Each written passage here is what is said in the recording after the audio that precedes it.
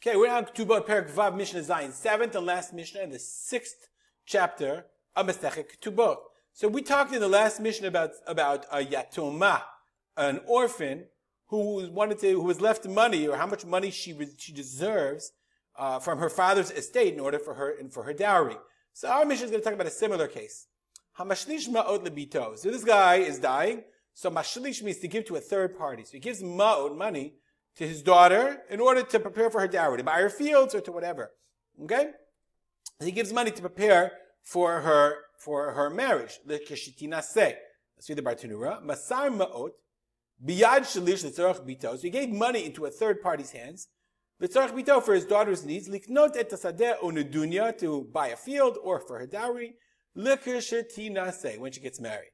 Okay? Vihi merit, and so they had erusin, and the husband's like, okay, give me the money. She says, Ne'eman ba'ali alai. She says, I believe my husband. Give him the money. Give him the money. It's okay. We'll build, I don't know, a factory together. Says the Mishnah, hashalish mashu shlash biyado. The third party must do that which he was, uh, uh, what, what he was instructed to do. Divrei Rabbi Meir. Says Rabbi Meir.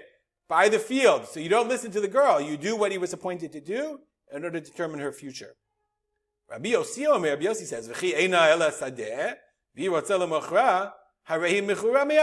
let's say he buy the field. It's her field. The husband convinces her to sell the field and give him the money. She's stupid, but she could do it.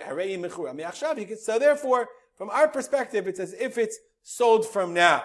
Okay, if she wanted to sell it, we could do it. So therefore, Rabbi Yehuda, Rabbi Yossi says, that Rabbi Yossi says, we listen to the girl because she could do it anyway. Says the Mishnah, when is that true? When she's an adult. Aval biktana, but when she's a minor, ein ma'asek klum. She doesn't have the right to sell. This is where we're explaining the Mishnah according to the Bartanura. The Gemara has a different version of a Chisari Mechsara. You can look it up in the Kahati. But according to the Bartanura, the Mishnah is saying, when is this rule true? When she's already an adult. Since she's an adult, she could sell her field. Therefore, Rabbi Yossi argues and says, Hareyi mechura me'achshav. It's as if it's sold now. But when she's a ktana, when she's a minor, ein ma'asek ktana klum. The actions of a minor, she can't even sell the field. Therefore, when she says, she was married off as a child, she says, give my husband the money, she couldn't sell it herself. And therefore, even Rabbi Yosei agrees with Rabbi Meir in the case of a minor, Rabbi Meir, and says, you don't sell the field, but ra- you buy the field, rather, you don't give the husband the money. Let's stop here and dedicate our learning to the memory of my father, Arav Simcha Ben Yitzchak Kalman. Have a good day.